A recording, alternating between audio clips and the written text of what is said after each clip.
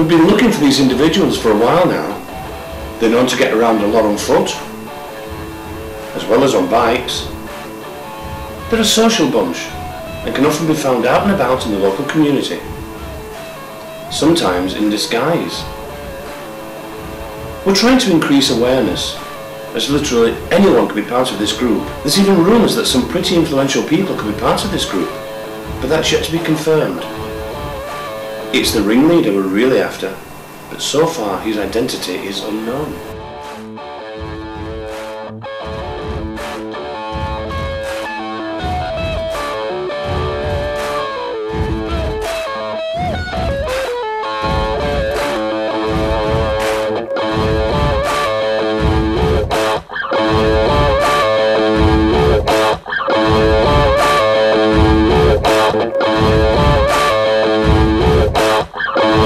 Yourself, be a hero, be a knight of Yorkshire.